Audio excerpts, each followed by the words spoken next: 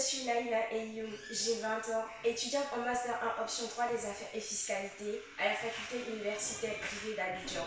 Je me suis présentée à l'élection de Miss 2.0 parce que pour moi c'est une nouvelle opportunité qui se présente afin d'atteindre mes objectifs et rendre encore mon entourage plus fier de moi. Je voulais aussi démontrer à tout le monde que la splendeur féminine commence là où elle s'allie à l'intellect. Alors votez pour moi, je suis la candidate numéro 116.